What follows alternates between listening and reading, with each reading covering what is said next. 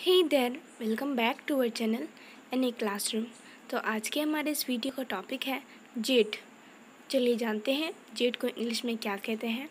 Jet को English में कहते हैं brother in law brother in law यानी कि हस्बैंड का बड़ा भाई. Husband's elder brother husband's elder brother यानी कि ब्रदर इन लॉ जेट सो इसी के रिलेटेड कुछ सेंटेंस में देख लें, जिसको हम डेली लाइफ में यूज़ कर सकते हैं. लेट्स गो सो फ़र्स्ट है, मेरी जेठ की चार बेटी है।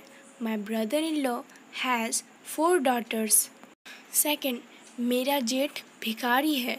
My brother in law is a beggar third आजकल मेरे जेठ खुद चाय बनाकर पीते हैं।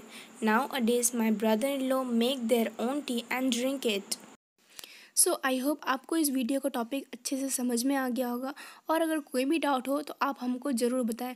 तो मिलती हूँ नेक्स्ट वीडियो पर। तब तक के लिए आप अपना ख्याल रखें और इस चैनल को सब्सक्राइब करना ना भूलें।